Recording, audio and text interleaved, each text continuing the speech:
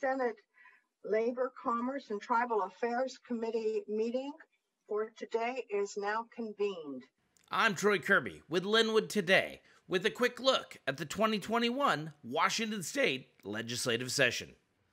On Thursday, January 14th, 2021, the Senate's Labor, Commerce, and Tribal Affairs Committee looked at Senate Bill 5134, focused on building public accountability and trust of law enforcement officers. But we know that there are occasions where police violate their duties. And for those occasions, we have a broken and ineffective arbitration accountability system. Candidly, it just simply goes too far.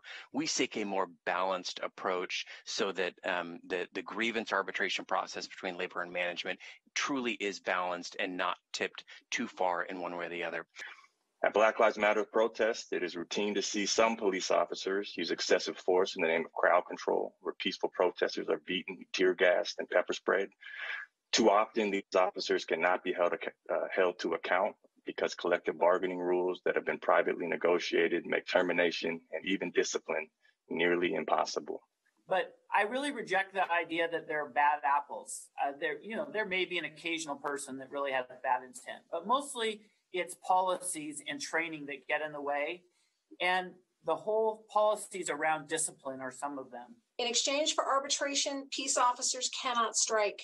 The process holds management to a known standard and offers workers protection from political pressure and a rush to judgment.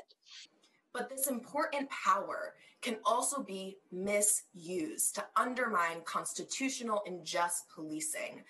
Thank you for watching the Daily Legislative Report by Lynnwood Today, covering the 2021 legislative session.